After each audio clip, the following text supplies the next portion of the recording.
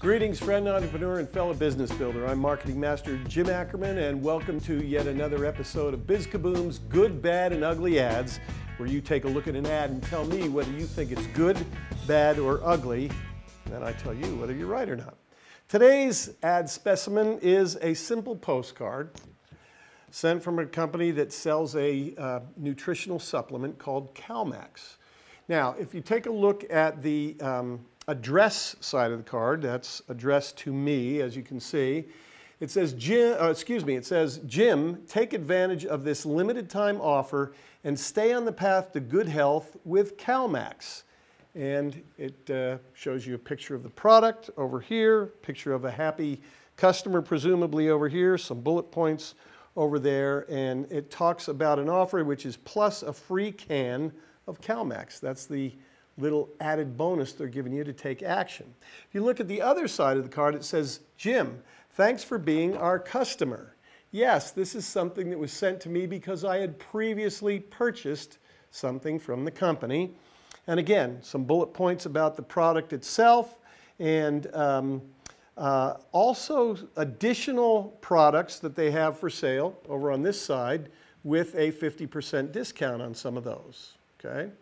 Now you should know that I have, am a dormant customer. I actually returned some of their product. And this came about six months later.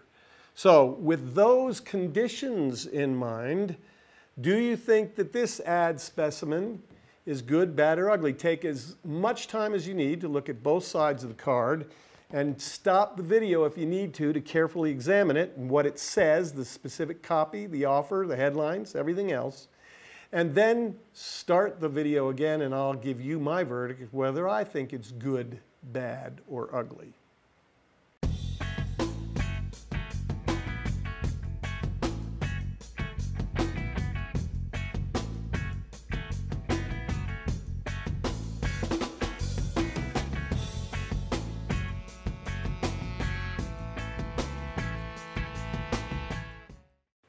All right, your verdict is in. Glad to hear it. Now it's time to get the judge. All right, so first of all, it is good from the concept of trying to reactivate a dormant customer.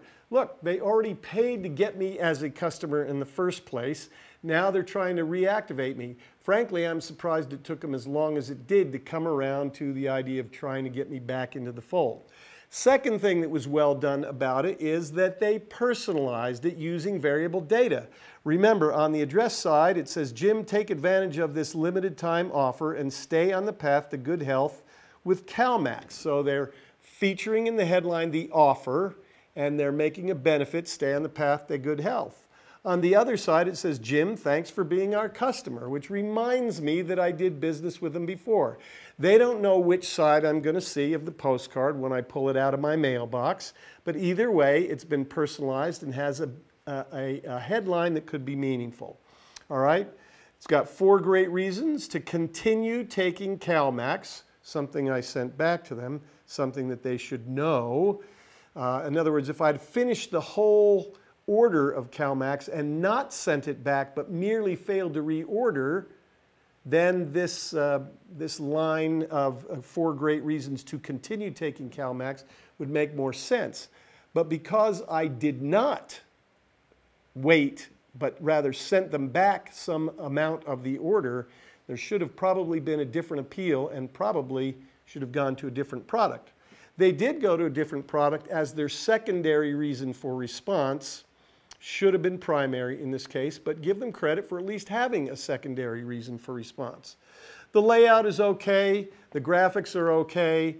I can't say that this is a great effort, but it's certainly not ugly. It certainly is well conceived and wise on the part of the company to do it, and execution was not too bad. So I'm not going to give it great, but I'm also not going to give it ugly I'm not even going to go bad with this one. I'm going to give this one a good minus. Anyway, what was your take on that particular uh, ad specimen? Was it good, bad, or ugly from your perspective? And did you learn something as a result of my analysis? Well, I certainly hope so. That's why you're here for crying out loud. Don't forget to subscribe to the channel because every week we come out with a new video. And most importantly, tell your friends about it so they can get in the game as well. You could vote as a block, huh? Or maybe share the videos with each other so that you can challenge each other about why you or your friends thought it was good, bad, or ugly. Any way you slice the cake, there's one thing for certain. This will help you in your quest to get more customers who will pay you more money more often, the fastest, easiest, most cost-effective ways possible, right here on BizKaboom's Good, Bad, and Ugly Ads.